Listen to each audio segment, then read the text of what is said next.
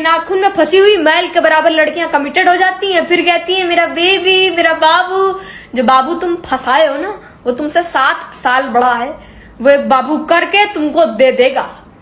हद है, उसकी माँ ने उसकी इतनी चिंता नहीं करी होगी आज तक। मेरे बाबू ने खाना खाया, तुम्हारा बाबू मार के इंसान खा जाए, उसको भूख लगे तो। बेटा, पढ़ लिख लो, ठीक है ना? घर पे पता चलेगा तो मार मार के जेबरा बना दी जाओगी तुरंत। बदतमीज। तिमीलाई म डेटमा लिएर जान्थे तर मेरो थोपडै नराम्रो छ। कसले भन्यो तिम्रो थोपडा नराम्रो छ भनेर? किन मेरो थोपडा नराम्रो छैन र? होइन नराम्रो त छ कि तर कसले भन्यो भनेर सोधेको? तिम्रो त्यो क्युट स्माइल देखेर घरभित्र बोलाउँछे भन्ने रङ आइडिया मनमा छ भने? बिर्सिदेऊ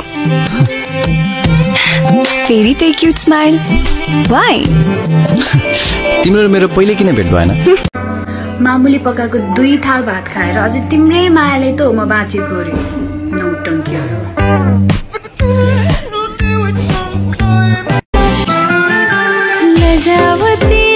जस्तै लजाउँछौ।